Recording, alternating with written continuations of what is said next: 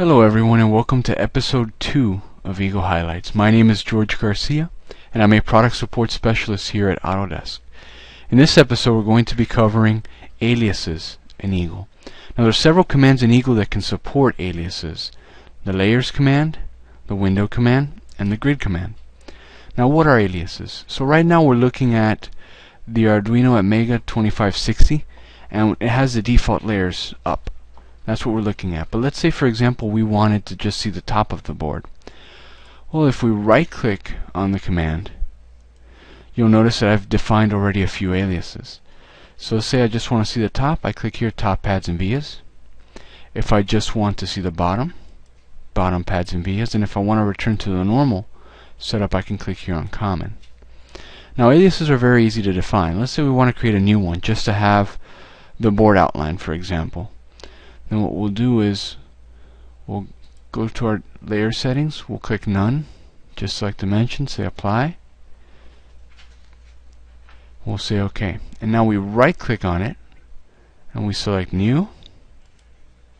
And we'll call this one dimension.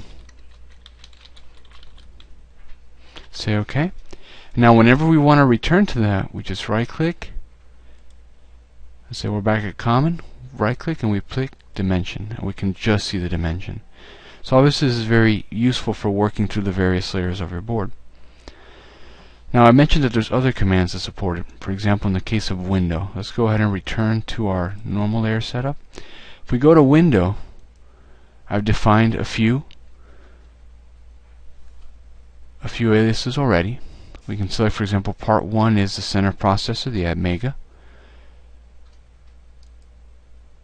If I go to analog 1, then we're in the analog power pins. And again, the aliases here are defined the same way. You just zoom into an area of the board. You right click, select new, and just call this, for example, crystal. The names are completely arbitrary. You can give them any name you want. So if I've back to a zoomed out view and I want to zoom in on the crystal, crystal, and there we are.